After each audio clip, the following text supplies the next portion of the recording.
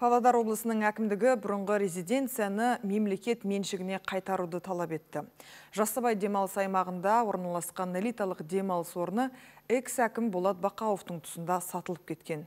Ол кезінде бұрынғы облыс басшысы қызмет бабын асырап пайдаланды деп айыпталып сотталған еді.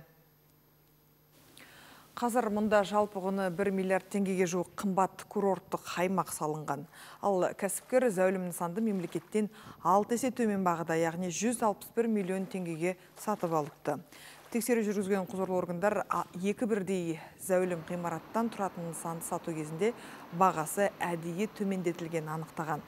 Қазір іс сотта қаралып жатыр. Айта кетерлігі бұл нысан бұрын сенімді басқаруға берілген еді. Павлодар мұнай зауыты жыл сайын оған жөндеу жұмыстарын жүргізіп отырды. Ал прокурорлар ерекше қорғауға алынған жер кәсіпкерге заңсыз берілген деп отыр. Нысанды сату кезінде лауазымды тұлғалар қате мәліметтерді берген, ал мүлікке толыққанды және шынайы бағалау жасалынбаған. Соның нәтижесінде демалыс аймағындағы ғимараттар арзанға сатылды. Демалыс үйінің тұрғын үйге жатпайтын нысандарын есептен шығару кезінде жер учаскесіне бағалау жүргізілмеген.